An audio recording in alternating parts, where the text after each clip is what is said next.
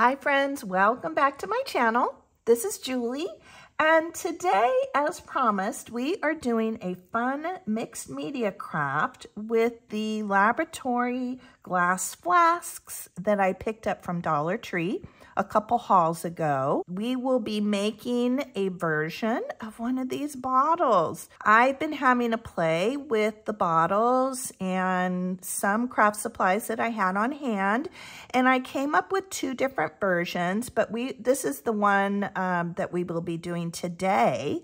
But let me show you what I did with the first one I had to play with. I happen to have some vintage pharmacy labels in my stash. And my daughter Taylor, she actually helped me. We scanned them and we shrunk them down. This was the first bottle I came up with. I played around with some stamps I had. Because it said mothballs, I thought it would be really cute to do a little, uh, make a little handmade die cut, which I did. That's kind of a butterfly or looks like a moth. I added beads and some dyed trims and a button that's all rusted and decayed looking. So this was the first one I came up with. I was just playing, I was just experimenting, but I wanted to make this project a little bit more accessible with things that you likely all have on hand.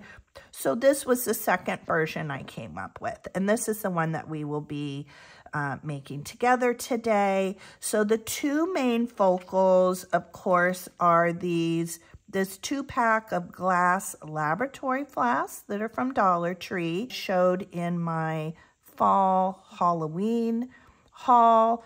But if you haven't yet picked them up, I think it probably is worthwhile to go check out your Dollar Tree. When I visited the new Dollar Tree that just opened um, closer to our home, they had a ton of Halloween left. If you missed getting these at the beginning of the month, I definitely would go back and check because you, you never know. The other supply, main supply that we will be using today to make our labels is the Stampers Anonymous Tim Holtz collection.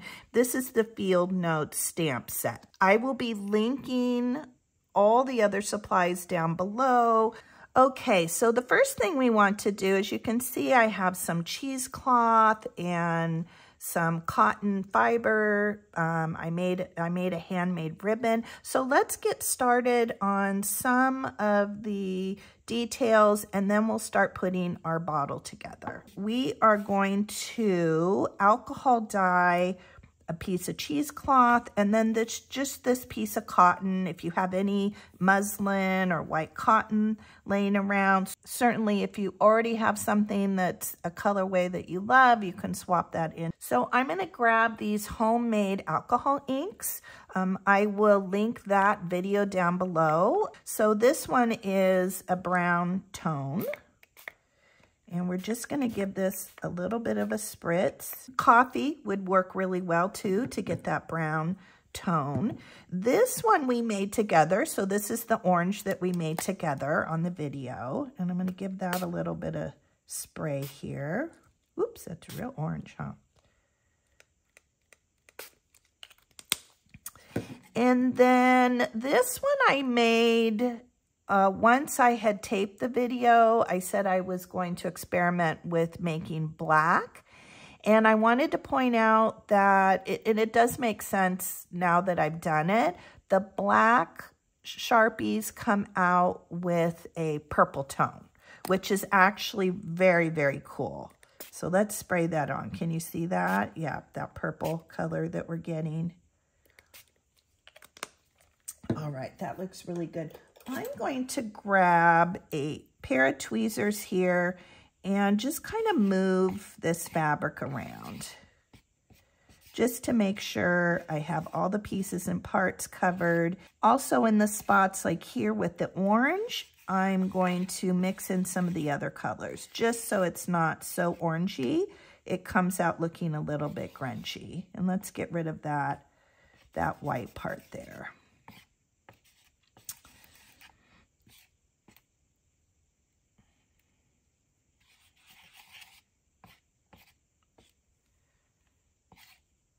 Okay, that is looking good. Let's look at our cheesecloth. Let's do kind of the same. Let's cover up that white portion. Just get it a little bit more layered here.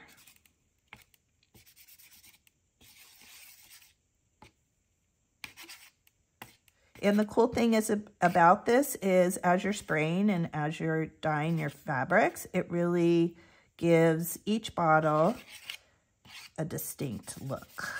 We are going to set this aside and let this dry while we move on to making our labels. Okay, here's our stamp set, and these are the two labels that we are making today, and I'll show you which stamps I pulled out to make these. So here is our this side up stamp. We'll be using a part of that specimen stamp, and then we we will be adding this number 4899 stamp. For the main stamp down here, I wanted it to be a little bit more substantial and a little thicker. So we will be making this on just a scrap piece of coffee stained index card. That will give us the thickness that I'm after. Oh, and I also forgot to pull out the label shape itself. All right, and the black ink that we are using is Ranger Archival ink in jet black. That is my favorite go-to.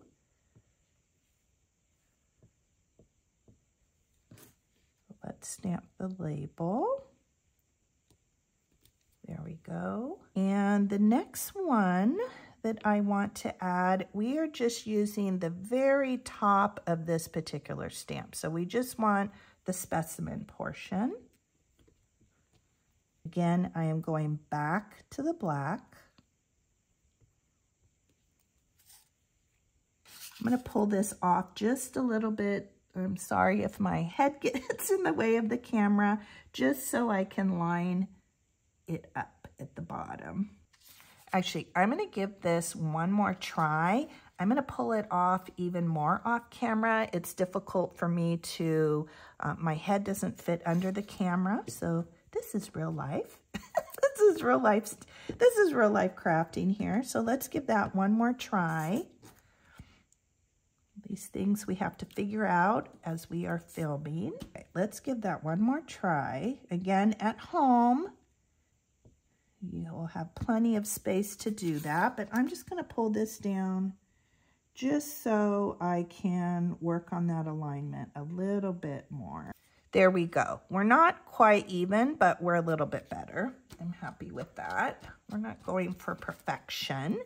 And then let's take this number 4899 and we will stamp that up above. This one's much easier because we're using the whole stamp. For the, the red label, we're using the this side up stamp. I am using Ranger ink in Ladybug. And for this one, I wanted to stamp it on paper that looked a little bit different with the thought that, you know, labels are not always the same. They're not always the same paper. They don't always look the same. So I grabbed out just a scrap piece of book page here. Let's try that again. Let's go down in this corner. There we go. That's a much better imprint. Okay, and we are back. There are quite a few supplies in this project, so I will probably just be clearing off as we go. So I'm just going to give this a little bit of fussy cut around both of the stamped images. On this one, I'm leaving a little bit of white border. So I think that's just cool and interesting. I think it does mimic a vintage stamp that way, or a vintage label rather. And we will give this one a fussy cut.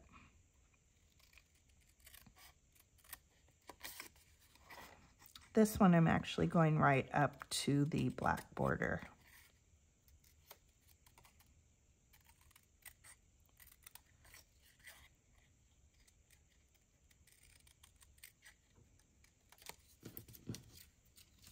And then we are going to grab some of our Distress Oxide ink. I'm just going to use Vintage Photo. And we will give both labels and inking on the edge. And then I'll show you a little fun thing I like to do to age them up even more. So cute. So even though we were a little off-sided, still has a very cool vintage, hopefully a little bit of an authentic look to it. Let's give this one a little bit of inking. All right, so my little trick is, what I like to do with these labels is scrunch them up. Yep, we're just, we're, we are going to scrunch it up into a little ball and flatten that out. And you can see just doing that gives it a really cool, very aged look. We will come back in and ink up some of those folds. I think looks super cool. So there's that one. I might even grab my black soot too. I think we'll do that. So let's ball this one up. Let's unroll it. So hopefully you can see how cool that looks. And I will ink up some of those folds. And then let's do that. I'm not sure if I did that on the others, but let's grab our black soot and just hit that a little bit just to give it a spooky Halloween kind of grungy vibe. It looks old, it looks decayed, looks super cool. We'll hit that one with the black a little bit. Right? Very cool look. Okay, so our labels are done. Our fabric and cheesecloth is dyed. Now let's work on the bottle itself. Let's open up our pack here.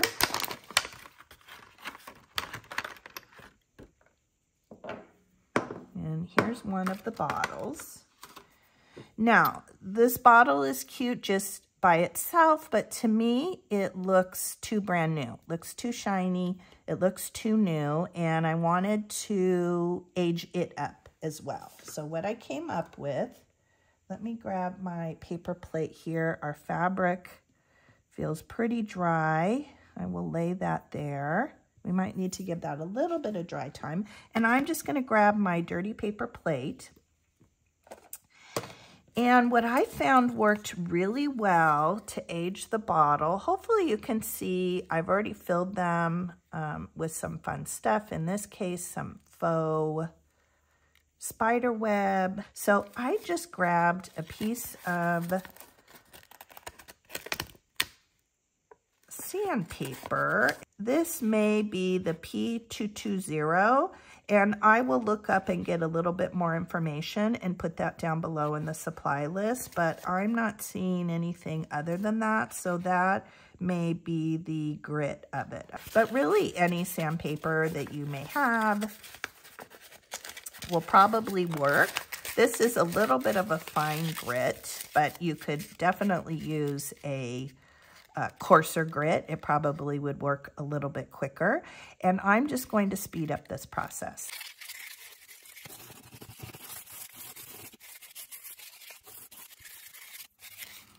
Okay, and we are pretty good. Hopefully you can see how scuffed up and aged that looks. I scuffed it up here on the bottom. I'll grab the other one just so you can see the shiny and then the aged. It gives it a really cool look. So I want to get this glass dust out of the way. So I will be back in a minute. I'm going to put this aside, um, toss this, and I'm going to give this a little bit of a wipe down with a damp cloth. So I will be right back. Okay, I am back. I've washed my hands. I've gotten rid of that paper plate with the glass dust. I've wiped down my bottle. I've wiped down my space here and let's get on to the next step. So I think let's also age up the cork a little bit. We don't want the cork to look new. As you can see, that has a little bit of an aged look. So I'm going to grab the vintage photo again and just darken that. Just make it look really kind of old and grungy. We will even grab our black soot.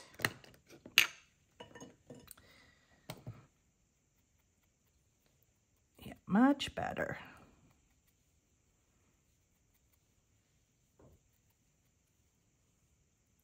We'll even go down here.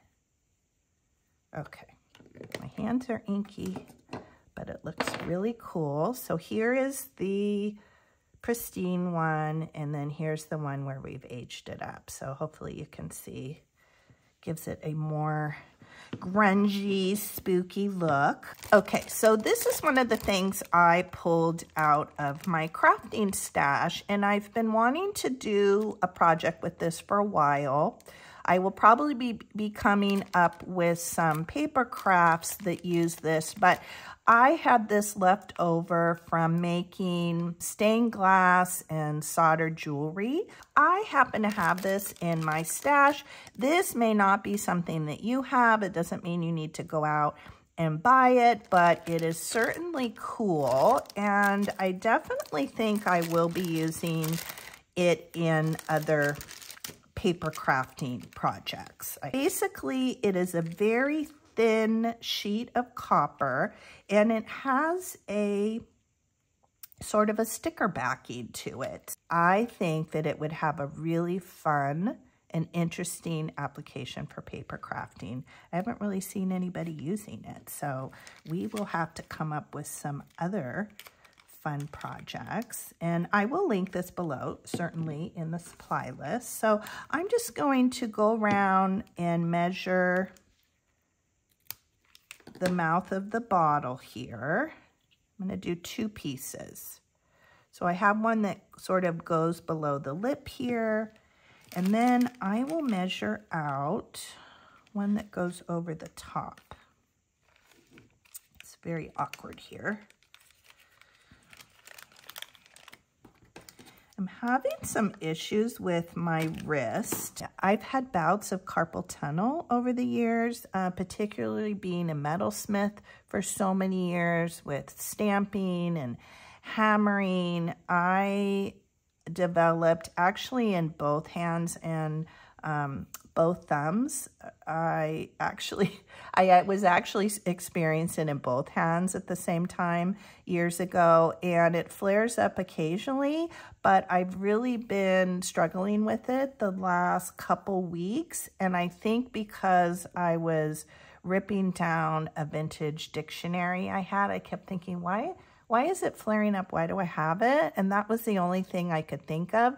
And for me, it comes from doing repetitive things. So I think that's what caused it. So if I seem kind of a little off or shaky with things, it's just because I'm having quite a bit of pain and um, it just takes me a little bit longer to do things. So let's take off this backing here. And I did dig out my wrist brace. And I've, I have been sleeping in it. I've been wearing it on and off over the last two or three days. Okay, now I can't get this backing off. But it has been helping a lot. So you can see it's just really thin. It's just a very, very, very thin um, sheet of copper. So we'll get rid of the back here and it's just like a sticker. It just sticks, sticks right on and it sticks to this glass really well. So that's why I'm excited to try it with paper projects. Wouldn't it be really cool? Okay, so we stuck that on and then let's get our other piece here. Okay, so we're going to take off that piece. Hopefully that was the one that went on the top again. I'm not, I'm talking and not paying attention. So I'm going to stick this kind of up over the rim. Hopefully you can see how I did that here. So it kind of goes up over the rim. I think this one I didn't quite have on the rim, but we will do the best we can. I guess I should have the seam in the same place, but really you, you can't really tell once it's on here and you've sort of burnished it on. I'm really feeling that wrist. Okay. So I stuck it there, hopefully you can see, around the top. And then I'm just gonna take my finger. It's not sharp.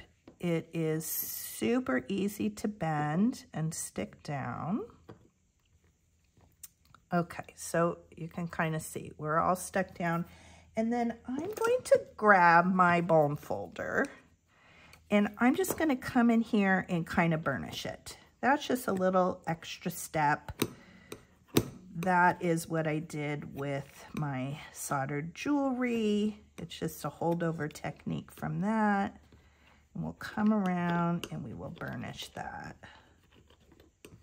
This is so cool. This was the absolute perfect project to dig this tape out and use. Okay, we are burnished down. In fact, let me show you. So this is uh, seven, um, seven thirty seconds of an inch. This is 36 yards. But this one is super cool too. I did, I, I did think about using, um, this with the wavy edge, but I thought it really maybe didn't quite go with the project. But how cool is that? Can you see it has that sort of wavy edge to it? Um, I don't know what size this is. I don't have the original packaging. Um, I'm not sure if it's 3 8 inch, but it just has a really cool look. So this will be something fun to play with in the future. Okay, so here's our copper. And then I'm actually going to ink this as well. I did some little experimenting. And the other fun thing, I didn't try it for this project, but it would probably be fun to see how it would maybe react with alcohol inks. I don't know. I do have some patina. I didn't want to get that out because it's sort of chemicals and whatnot, but I do have a number of patinas that will color um, the solder to make it, you know, green patina and black and grungy. Um, maybe that's something that we'll play with in the future, but again, those are sort of uh, liquid chemicals and I didn't want to get them out. But hopefully you can see it's just sort of knocked down the brightness of the copper. And then maybe let's grab a little bit of the black too. And that just kind of knocks it down, just so it's not so shiny. And hopefully you can see that, right? It's, it's definitely a lot more dull. Okay, so there is our top. And then let's see, let's see if we are dry here with our fibers. Yep, we are pretty dry. So let's work on the, actually, let's work on the inside. I am skipping ahead. So for the inside of this one, we are doing kind of a spidery theme and I dug out my bag, my huge bag of spider web. I don't even know where I picked this up. So we'll be adding some of that to the inside.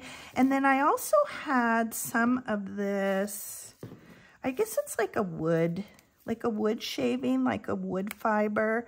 So I'm gonna tear this up in little strips. Again, you could use moss, you could use shredded paper, or you could completely skip this step. But I thought it gave sort of a cool, spooky laboratory look. In fact, I should show you what I did for the moth bottle, which was kind of funny, but I think kind of cool.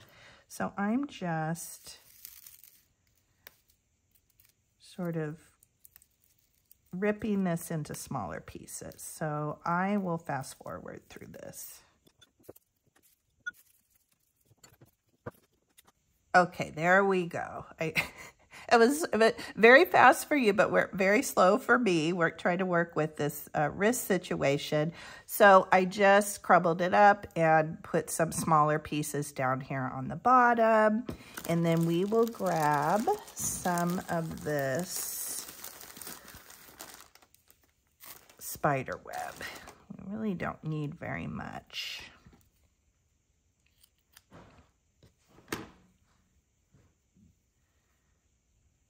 Little, a little goes a long way.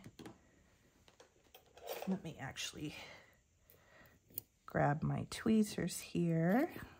I'll stick that down in there. Let's add a little bit more.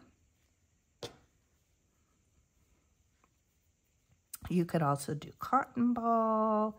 You could use um, like quilt batting. These are fun projects to just really think about what you have. Um, I did this also because I happen to have the little spiders, so I thought it would be a cute play on that. Okay, I think we are looking, we are looking pretty good. Let me pull out that top. We will stick our cork in. So I think we're doing well. That looks really cute, right? Oh, I wanted to show you. So this one was funny because, well, not funny, but because I had the um, vintage mothball label, I did the same thing. I put some of that wood, um, wood strip fibers down on the bottom, and I actually made little tiny mothballs. So I took a cotton ball, and I just, I cut it, and I um, tore it into little strips, and then I wet my fingers with some water, just a spritz of water, and I just made little balls. So I just um, you know, watered my fingers or watered the plate and made little balls. And then I came back and I spritzed them with some of this homemade alcohol ink and then just kind of rolled them around on the paper plate. And that's how I got, I don't know that mothballs are grungy, but I knew they needed to be small because we're working in such miniature hopefully you can see that. So that's how that's how I did the mothballs on that in case you want to try that. Okay, so here is our bottle. And I am going to, next thing I'm going to grab is some Mod Podge. And I'm just using matte. If you had the shiny, it would probably work well. You can water down some white white glue, some Aleene's tacky glue watered down would probably work well. We don't need much, we just need a little bit for this. All right, and I am going to just cut myself a little strip of this.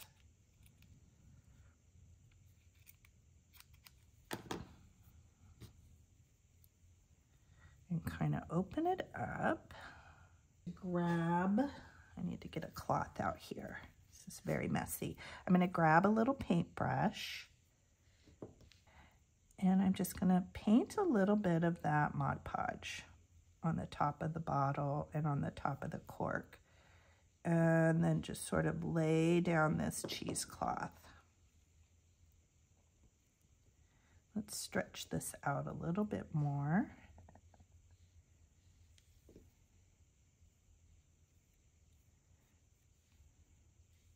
And because we've used the oxide inks, it is reactivating those a little bit, but that just adds to the grunge.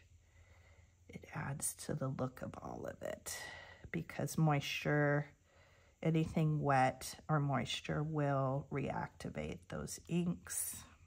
I will just paint that on the bottle itself and then go. So it's kind of like we're decoupaging. We're decoupaging with the cheesecloth. It's very similar to that. And you can have some pieces be loose. You can lay them down. Really, it's however you want it to look. Let's get, let's do a little bit more over the top. Not sure I did that on the other one, but I think that would have a really cool look. And you don't see a lot of the copper through. You just see a little bit of peek. You might not even, it might not even show up as well for all of you on the camera, but definitely in person, it has a really cool look. And if you didn't have these little bottles, you certainly could substitute um, a bottle, like an upcycle bottle, something left over from, you know, a food jar. Really, sky's the limit. And if you used a larger bottle, the copper would really show. And you get so much in those packages, it would really go a long way. Okay, so we've kind of laid that on. I think that looks good. I think we're kind of grungy. Hopefully you can see, and you can still see the copper peeking through. So I think that's really cool. All right, let me put my brush in water. And then let's grab a strip of this, grab my fabric scissors. Probably be a little bit easier on my wrist. And I'm just going to rip that down. So I just, this will, this is so much, this will go a long way. And then I'm just going to tie this around the bottle. So I'm just going to drop down. You could tie it around the cork. Really, it's all a matter of preference. But I'm just going to tie that around. And you don't even need to do a knot, but maybe I will come back and do that. So I've just, as you can see, I've just tied it around. It's just another layer of texture. We will give that a cut. And this bottle may end up looking very different from my other ones. It's just, it's just a matter of playing and having fun.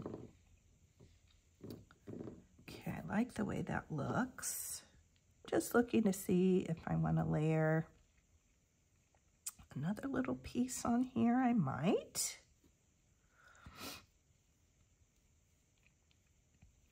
Yeah, you know what I think I'm going to do? I'm going to take this little scrap right here and just layer a little bit more on here because we are playing and we are having fun and we are experimenting.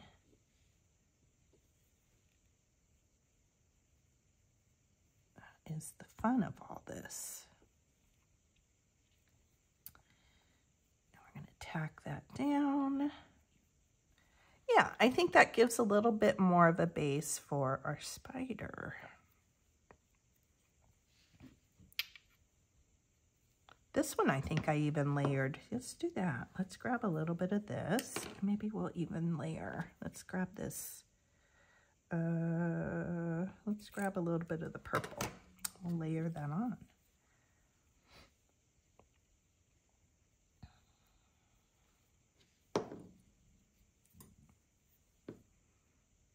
So cool. Oh, I like that. I'm glad I put that piece on there. Just gives it a little bit. I like how it's sort of hanging down there. Okay, I think we are good. Let's put this aside. Okay, let's grab our spiders. I posted I made a community post yesterday. It literally took me close to an hour to find these spiders. I knew I had them. I had used them in some other Halloween crafts and some assemblages. I've had them um, for several years. I have been priding myself on the fact that I've really been working on getting my paper crafting supplies nice and organized, but um, for those of you that don't know, I also make assemblages. Um, it isn't something that I have done lately, but I do have a ton of assemblage uh, craft type supplies, but I'm not very organized. I need to work on getting those organized, but it literally took me an hour to find these and I was sweating, I was getting frustrated. And the worst thing is I actually, the box that they were in, they were with, um, they were in a place that made sense with my Halloween picks, like cupcake picks, my plastic picks. And I think I looked in that box several times, but maybe because they were small, they were down at the bottom and I didn't see them. And my daughter even walked in and I'm like, oh my gosh, I can't find my spider. She was looking at me a little bit crazy. And she's like, well, where, maybe you put them with something that's similar. Well, of course I did. They were, they were under all the Halloween picks, but that was, yeah, that was a little frustrating.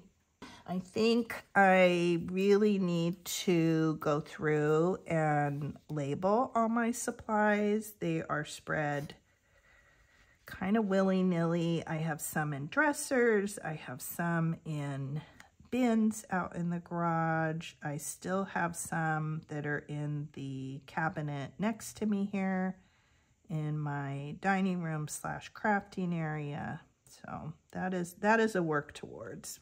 But at least now we do know where the spiders are. So I'm just using Fabri-Tac to glue the spider on. Obviously, hot glue would work really well. I just didn't want to plug in my hot glue gun. So we are using Fabri-Tac and it worked really well.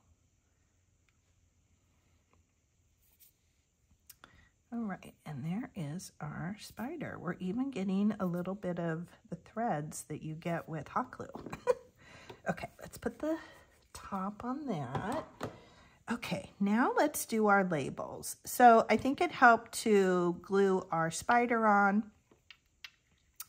Oh my goodness, look what I just realized. I just made a huge discovery. So these, these are different size bottles. How did I not see that earlier? Oh my goodness. I will be right back. I'm going to go grab my other container. Okay, here is the other one. I didn't even notice that when I bought them. So here's the other container. Yeah, these are, smaller or the same?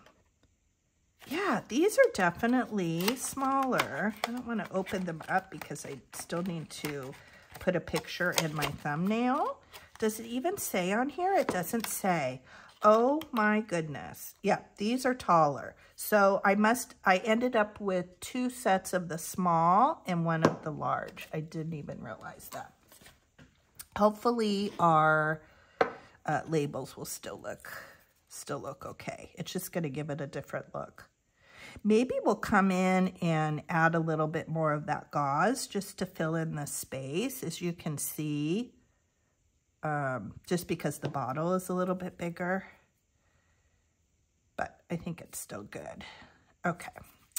We are going to use the Mod Podge to glue on the labels as well. I found that worked really well.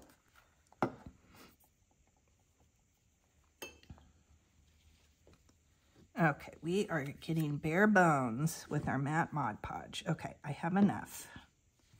So I'm just going to come and paint on the back of this first larger label with the Mod Podge.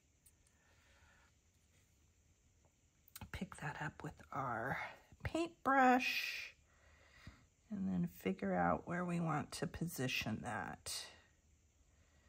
I think we will do that that's a good location.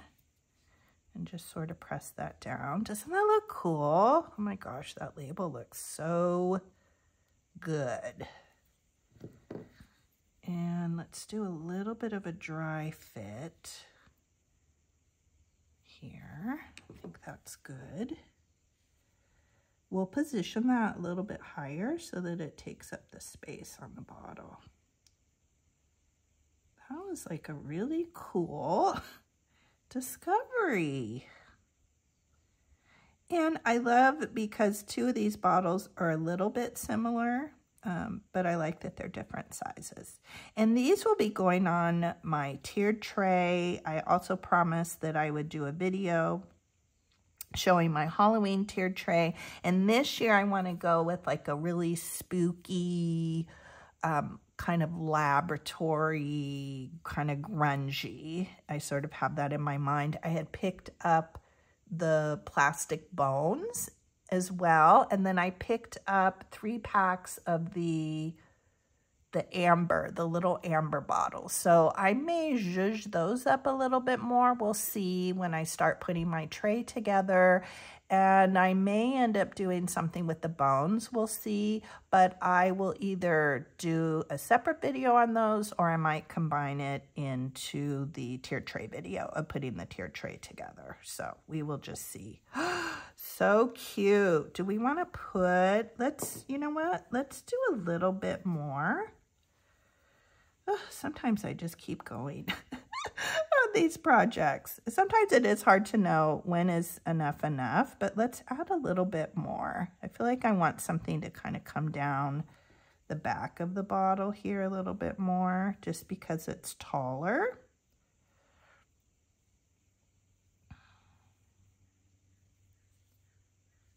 Let's see here.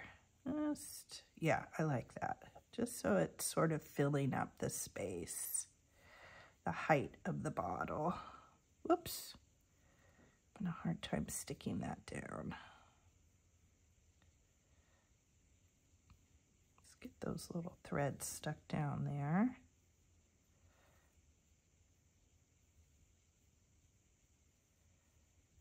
That's cool. I like how some of the threads are overlapping the labels. Whoops! All fingers today.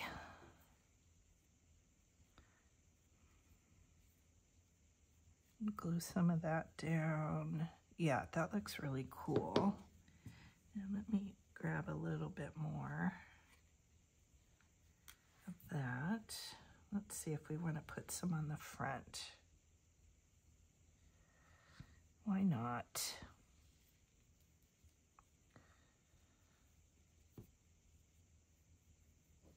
Although I might not have a lot of Mod Podge left here.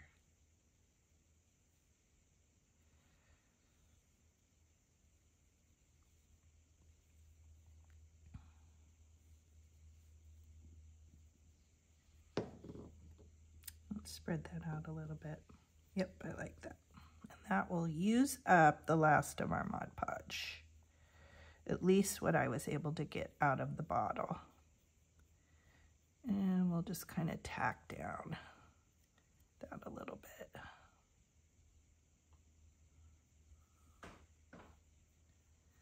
So cool. Okay, Julie, stop playing. stop playing with it.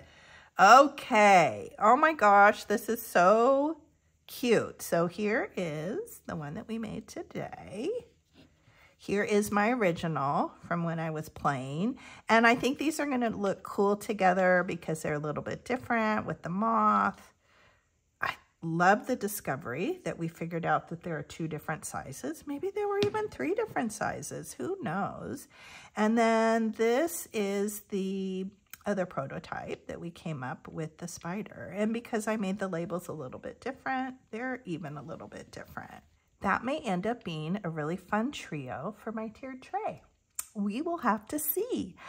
I thank you guys for hanging out with me today. I hope you enjoyed this little project. It's a little bit different. Usually we do paper crafting and junk journal type crafts together, but I I knew when I found these bottles that we had to come up with something fun. So I hope you enjoyed this.